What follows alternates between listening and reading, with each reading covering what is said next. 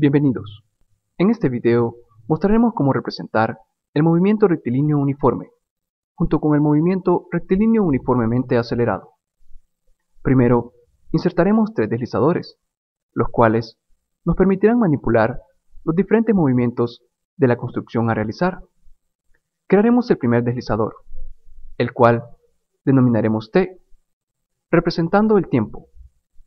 Colocaremos también un valor mínimo de 0 y un máximo de 10 segundos, con un incremento de 0.1. Aceptamos y el deslizador aparecerá en la vista gráfica. GeoGebra permite modificar aún más las características de un deslizador. Para ello, hacemos clic derecho en deslizador y luego clic izquierdo en propiedades. Observemos que aparece un cuadro de diálogo, en el cual tenemos la pestaña color, si se desea que el deslizador posea un color en particular. Seleccionemos para nuestro caso el color azul. Además, podemos ir a la pestaña estilo, en la cual nos muestra dos opciones. Grosor de trazo, que modificaremos a 5.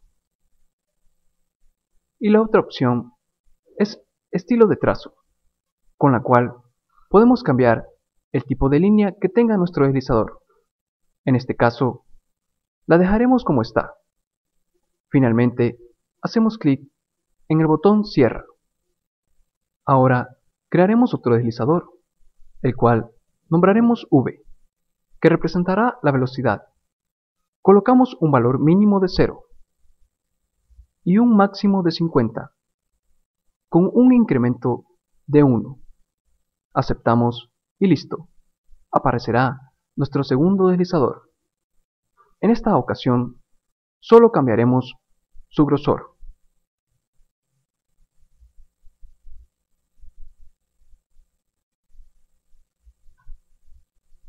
Insertaremos el último deslizador, que representaremos con la letra A, para la aceleración. Colocamos un mínimo de 0 y un máximo de 20 con un incremento de 1. Aceptamos y cambiaremos el color y el grosor de la línea.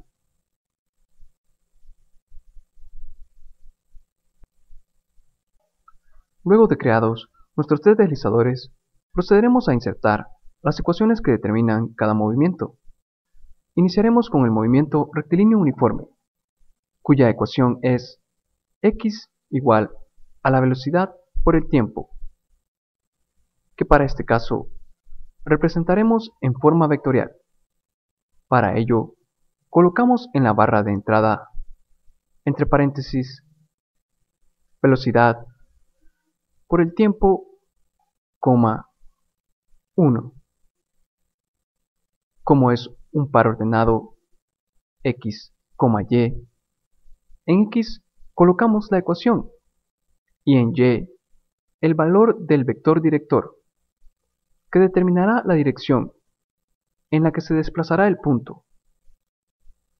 Ahora, hacemos clic derecho sobre el punto.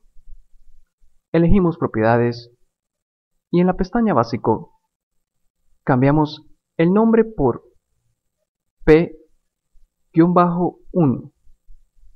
Hacemos clic en Cierra y nuestro punto reúne todas las características del movimiento rectilíneo uniforme. Ahora, insertaremos otro punto, con las características del movimiento rectilíneo uniformemente acelerado. Para este caso, escribiremos la ecuación entre paréntesis velocidad por el tiempo más entre paréntesis 0.5 por la aceleración por el tiempo al cuadrado, coma 4.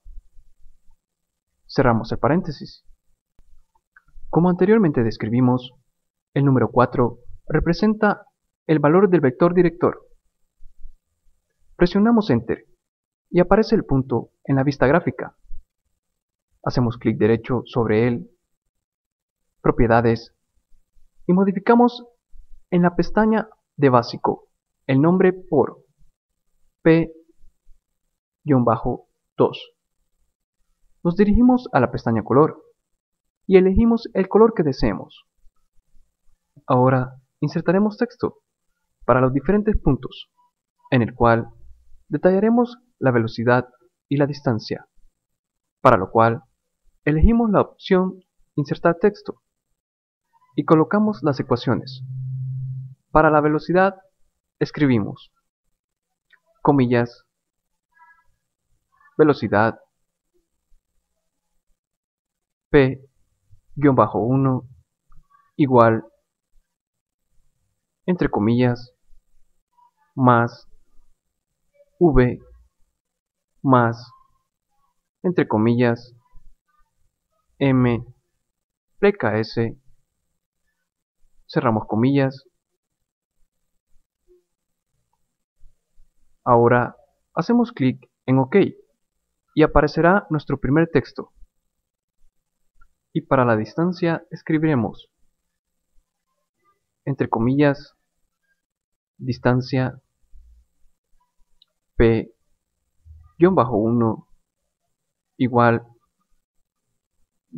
cerramos comillas más v por t más entre comillas m hacemos clic en OK y aparece nuestro segundo texto. De igual forma, insertaremos texto para el punto 2, con la única diferencia de cambiar las ecuaciones. Escribimos entonces, entre comillas, velocidad p-2 igual, entre comillas, más entre paréntesis, A por T. Cerramos paréntesis, más, entre comillas, M pleca S. Cerramos comillas. Y asimismo, insertaremos el texto para la distancia. Escribimos entonces, entre comillas, distancia P-2 igual, cerramos comillas, más, entre paréntesis, V por T más 0.5 por A por T al cuadrado. Cerramos paréntesis, más entre comillas, M. Podemos interactuar con el deslizador T para observar la posición de los puntos en un tiempo determinado. Y de esta forma se representan dos movimientos como lo son el MRU y el MRUA con GeoGebra.